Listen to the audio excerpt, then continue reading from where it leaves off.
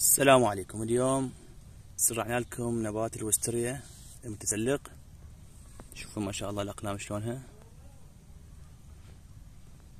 هاي التزهير مالتها كلش بداعة اللون مالته بنفسجي طبعا من النباتات الجديدة نزلت للعراق. طبعا من البذور تتأخر يلا الزهر عكس ما تزرعها من القلم.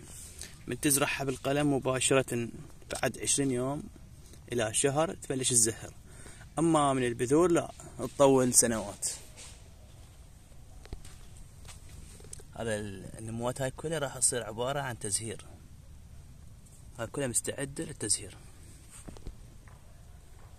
طبعا من أندر النباتات الموجودة. كل ما هو موجود هو من بذور. هذا إنتاجنا. سنويا ريز واحد ما نقدر طبعا هاي الأقلام كلها مستوردة. عندنا الأميات أخذنا منها أقلام بس أقلام يعني عمر سنة تكون أقلامها كلش محدود.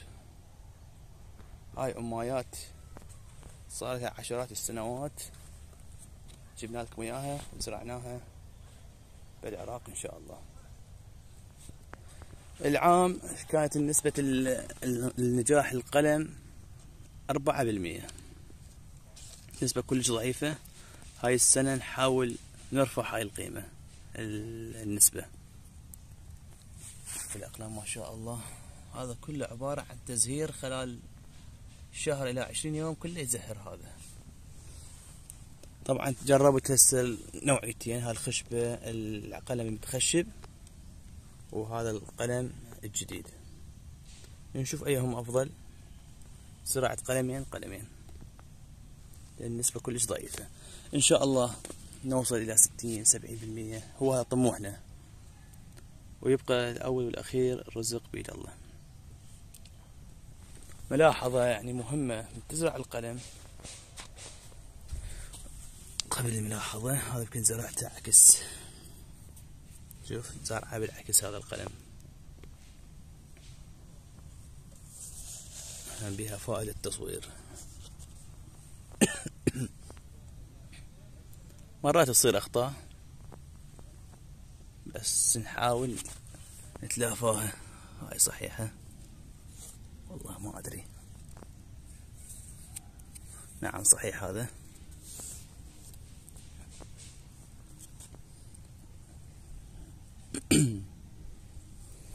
نرجع للملاحظة. الملاحظة المهمة ضروري تتابعوها. هو من تزرع الأقلام تنتظرها يوم كامل هسه زرعناه. ثاني يوم إن شاء الله هيك وقت يلا غطي نايلون. قبل النايلون نعطي سقية وحدة مبيد فطري. هذا للوستريا أو للرمان. الرمان نفس الحالة. باكر إن شاء الله راح أبلش بتغطيته. العفو شوي بلاعيم بسم الله عليكم. يا الله. هذا الريزع شوي حنكبره أو نفتح ريز ثاني الجهة الثانية. عندنا أقلام جديدة توصلنا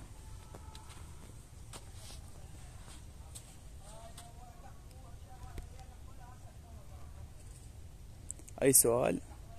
الواتساب موجود يمكم. راسلوني وسهله أو كتبوا التعليقات. تحياتي.